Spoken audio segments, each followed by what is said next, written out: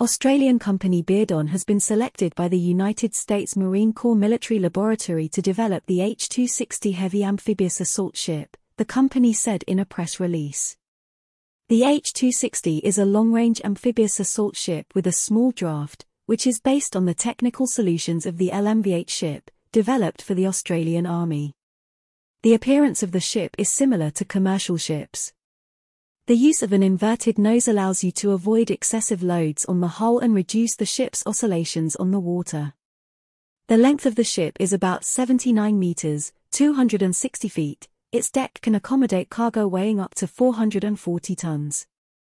The H-260 can accommodate 72 Marines and 26 crew members.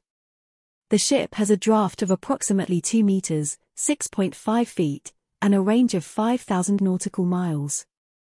In the bow and stern parts, ramps are installed for quick landing, loading and unloading of cargo in difficult conditions.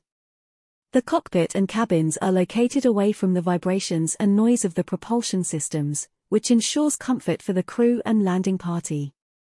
The order is part of previously awarded contracts worth a total of $2.5 billion. According to the U.S. Department of Defense, 40 vehicles will be manufactured as personnel carriers.